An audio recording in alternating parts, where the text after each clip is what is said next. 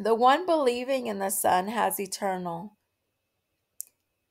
life eternal. The one, however, not obeying the Son, not will see life, but the wrath of God abides on him. Hmm. So to obey, obey the Son, well, the Son's the one that said not to believe the one that that comes in the wilderness. You know, he was speaking to his actual apostles then because he already knew what was going to take place. They were all destined to go astray for a time, but they he brought them all back, okay?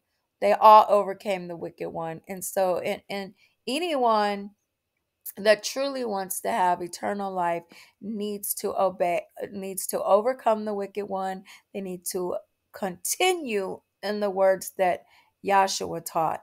Yahshua never taught about this grace that Paul speaks of. Yahshua never said we're no longer under the law. In fact, he said the complete opposite. He came to magnify, to fulfill the law. This is also found in Isaiah 42 prophecy.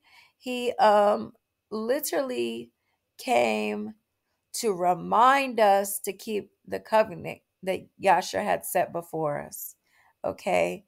He came to set us free from sin, not just die and be some kind of sick, twisted offering to where people could continue to sin and just, oh, yeah, and daddy no longer sees me. He sees, he sees Joshua. You know, my brother thinks this idiotic thing, which the Bible totally proves his theology wrong.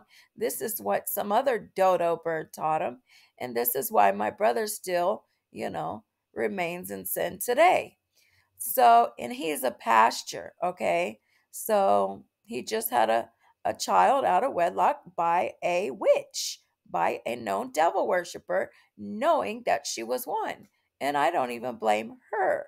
I blame him because he took advantage of her while she was homeless and on the streets. So if you don't want to be led astray by these false guides, do the research yourself. Don't depend on the, the pastures and the guides of today.